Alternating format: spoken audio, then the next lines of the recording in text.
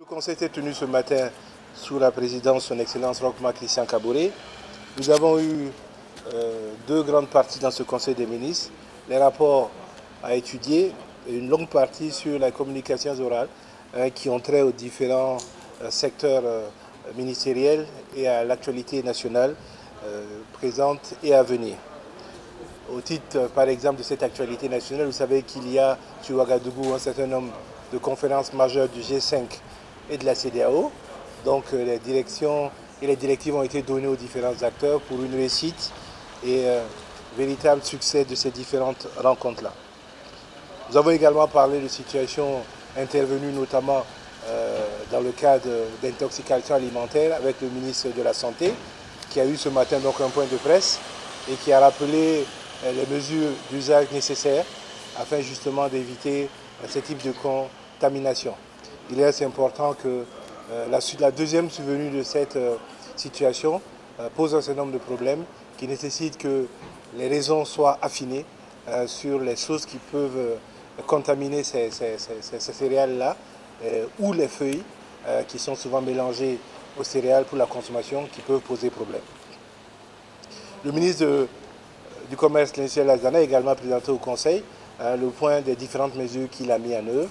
Des échanges ont été euh, euh, animés et fournis euh, sur les félicitations que le, gouvernement lui a données, mais également sur la nécessité d'avoir une structuration de cette décision-là qui puisse justement éviter que nous retombons dans des situations à la fois de fraude, parce que ça a été constaté par les brigades mobiles, à la fois également de mévente du sucre et de l'huile produits localement et des pneumatiques afin de protéger donc euh, les efforts qui sont faits par un certain nombre d'acteurs au niveau de l'industrialisation et de la transformation de notre pays.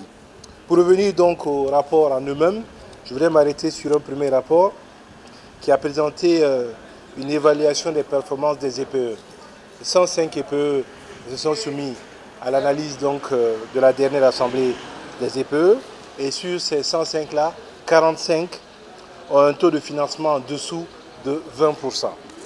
Donc le gouvernement, à travers donc, le Premier ministre et le chef de l'État, a instruit donc le MINEFID hein, de mettre en œuvre une rationalisation des EPE qui va passer soit par leur regroupement, soit même par leur disparition, afin donc de donner une plus grande efficacité hein, en termes d'impact. Nous avons également adopté un décret portant autorisation de perception de recettes sur les prestations de services de certaines structures du ministère de l'Enseignement supérieur et de la Recherche scientifique.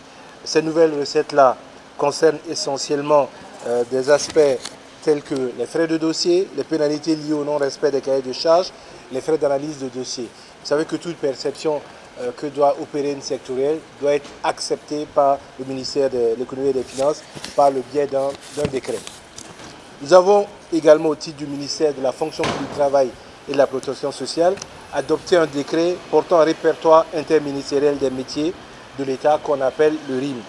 C'est un instrument donc qui est issu de la loi 081-2015 du 24 novembre 2015 qui porte donc euh, qui régit la fonction publique. Le RIM donc est une solution euh, sur la question notamment des plans de carrière, avec notamment la création de nouveaux emplois, mais également la création de passerelles. Ces passerelles-là permettent notamment à un emploi de niveau inférieur de pouvoir passer un emploi de niveau supérieur, parfois dans une autre famille euh, de métiers. Donc c'est une opportunité en termes de plan de carrière pour les travailleurs euh, du secteur public.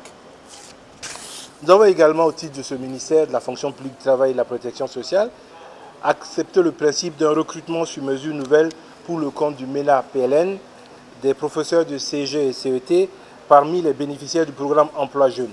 Vous savez que ces bénéficiaires-là ont été lancés en 2016. Il y a donc euh, trois ans pour chacun des jeunes qui ont écrit, contractualisé donc leur engagement. Et au terme de ce contrat-là, il est marqué que leur reversement dans la fonction de publique se fait à l'issue d'un concours. Et ce concours-là donc doit permettre de recruter les premiers donc, euh, qui ont fait les trois ans, c'est donc de la génération 2016. Elle va s'appliquer également pour les autres générations au fur et à mesure. Le, le secrétaire général du gouvernement a répondu à l'US en disant qu'un des articles de la loi qui régit le droit de grève n'a pas été respecté en ce qui concerne les 15 jours francs. Et quand je me suis renseigné, les 15 jours francs, le jour franc pour les juristes, notamment dans le droit administratifs disent que c'est le lendemain du dépôt de l'acte. Donc si vous comptez 15 jours de 0 heure le lendemain du 3, on va compter 15 jours, on serait vers le 17 pour que le, le, délai court à sa fin. Donc effectivement, si on s'en tient au texte, les 15 jours francs ne sont pas respectés. Je crois que c'est une question de construction d'une démocratie et que si on doit faire une manifestation, on doit être amené à respecter les éléments qui soient mis en œuvre. Je ne me rappelle pas qu'une manifestation ait déjà été interdite euh, depuis que le président Roch Christian Kabore a accédé à la présidence du FASO. Donc si cette fois-ci la question est posée, c'est que simplement, dans les faits, euh, la, demande ne respecte pas euh, la loi. Et je crois que la loi s'applique à tout le monde.